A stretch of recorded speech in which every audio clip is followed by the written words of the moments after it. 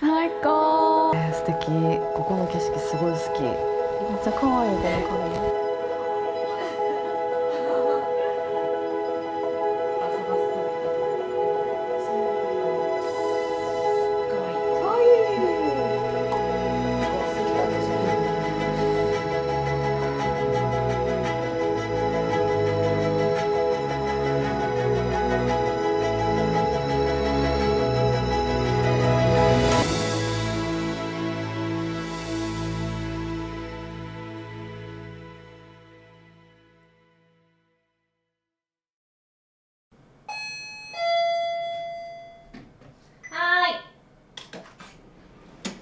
お邪魔します。どうぞ。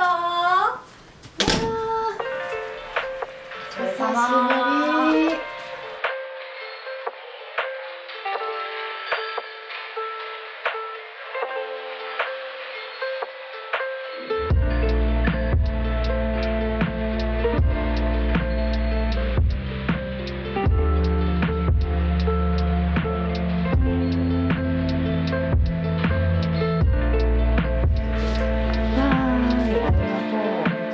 ティーになります。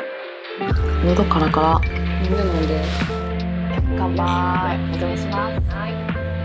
なんかいつもさ自然と遊びに来てるけど、うん。うん今日そうやね。はちょっとじっくり見たくて、うん、じっくり見て帰って。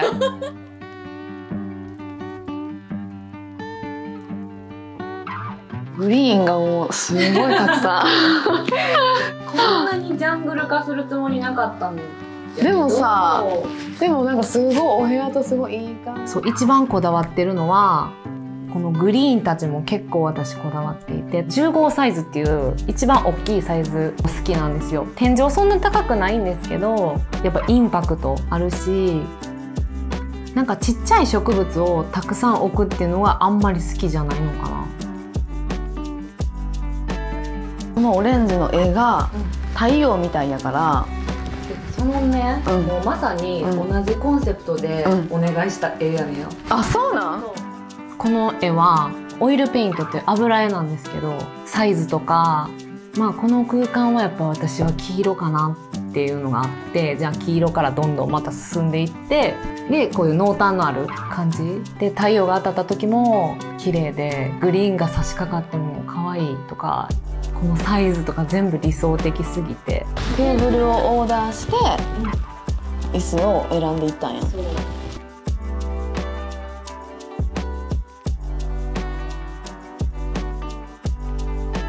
これすごい素敵。ねそれ。もともとそこにお洋服置いたりとか靴置いたりとか店では使ってて、えー、そうなんや。うん、それはプレゼントでいただいたもので。でもこれすっごい素敵やわ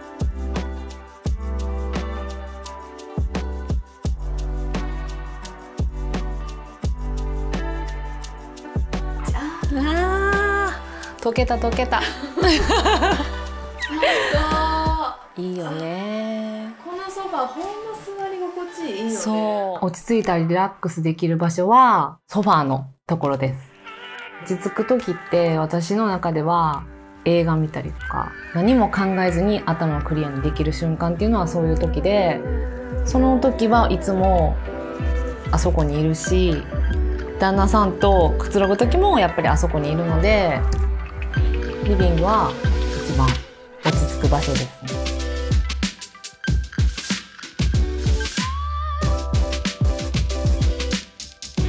クッションカバーも意外と2本で欲しいのないから ETSY っていう、うん、アプリがあってその海外のお店のアンティークだったり一点物のヴィンテージとか全部見れるしこの色をさこの色を保つってすごい大変やね。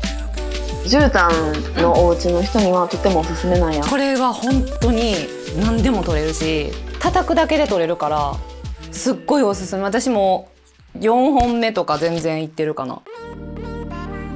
メイクはいつもリビングのリラックスできるところが朝東向きなのでそこの光で自然光で私はメイクするのが好きなのでもうそれは私の定番ですねそこの場所は。全然違う。そうここがね。もみっこはほら最初からうん。この部屋知ってるから、知ってる。普通の和室やった。そうやねんな。何このもうホテルやん。この部屋でうん。あれですよね。はい。私たちのそうなんです。みっこチャンネルの編はい。編集集をはしていますお届けされているわけですね、いつもここからいつも配ここから信されてるんですね。はいそうでございます。去年とはもう人生が変わったぐらい仕事の時間も全部 YouTube の編集っていう、まあ、大きいお仕事をするためにもワークスペース欲しいなと思っててでもともとここは和室はあのお友達が来た時に泊まってもらったりとかするお部屋ですごい仕上がり大満足してます。すっごい素敵、うん。本当に。そう。この壁紙の色可愛いな。可愛いね。壁紙は寝室もその和室もどっちもやっぱり私がこだわったのは海外のインポートものだったんですね。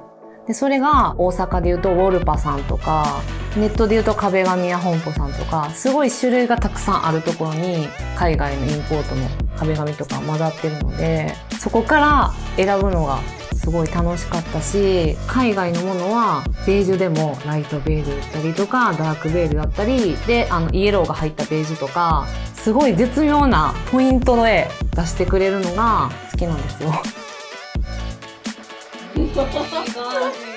賃貸であっても DIY でいろんな雰囲気を楽しめるというか今は。いいなって思うものとか可愛いって思うものめちゃくちゃあるんですよ。お店とか行ってもだけど絶対私その場で買うことはあんまりないくってティッシュとか小さい小物であっても一回写真撮って持って帰ってきて悩んで記憶に残る本当に自分の好きなものしか選んでないような気がします。シードがめっちゃ可愛い。そう。可愛いね。ほん。まに布布。そう布地がすごく分かったとにかく私シェード付きのテーブルランプっていうんですけどが好きなんですよ。だから例えばリビングだったらもう夜はそのライトだけをつけて夜の時間とかをリラックスタイムとかに使ったりするんでその電気のバランスは私めっちゃこだわってると思います。それね。これ可愛いなそれね。一番好きな場所は台所ですね。いろんなお料理を一気にこう広いか作れたりとか、あと友達とかと喋りながらお料理したりするのはすごい憧れの一つだったんですよ。で、それもできたりとか、独立してるんだけど完全独立じゃなくて、こうリビングにも抜け感があるから、だから台所結構好きですかね。今日は私のお袋の味をこの水切りをした豆腐を潰して丸めて揚げるだけでむっちゃ簡単なんで。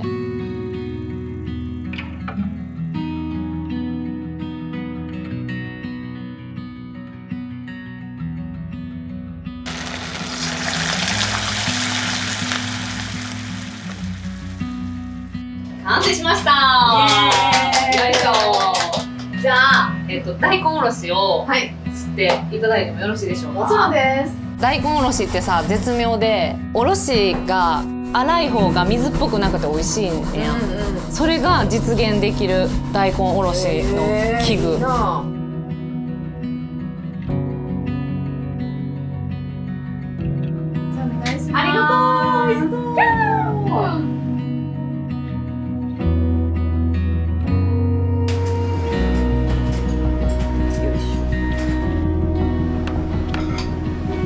ヘルシーやしでお弁当とかおすすめです。これは母親のレシピ。いただきます。嬉しい。どうぞ召し上がれ。ありがとうございます。はい。うん。うん。なんか無印のうん。こめっれちゃ使える。もう使いやすすぎてやばい。ゴムベラみたいな質そう。感もうこれはこれ本当に何に使うの？え例えば晩ご飯とかを予想時？よそう炒める。ああそっか全部いけるしお菓子とかもお菓子作りとかそうだね使いやすそう。すごい使いやすく本当におすすめ。これは無印のとかホームセンターで売ってるクリアボックス。ファイルとかを入れるやつにフライパンをするのいいね。そう入れてすごいね。これ結構重ねてるとストレスじゃない、うん下のやつ取るのとか。蓋もじゃあ普通の窓拭き跡、うん。拭き跡って結構残るから。でもこれもうその瞬間乾いていってんの分いやかるわかる。めっちゃ綺麗なる。あとツルツルやねん。触って。ほんまや。ほんまやな、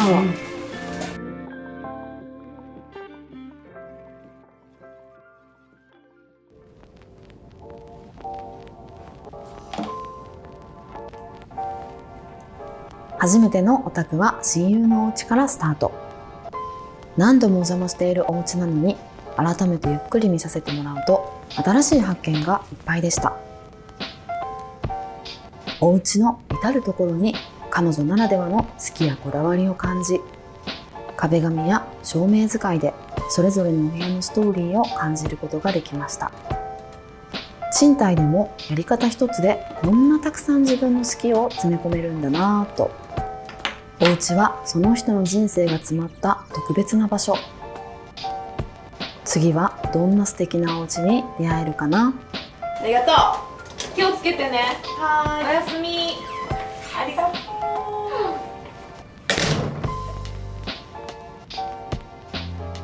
う。めっちゃ可愛い。うん、こんな本あるんや。ある。え、欲しいな、これ。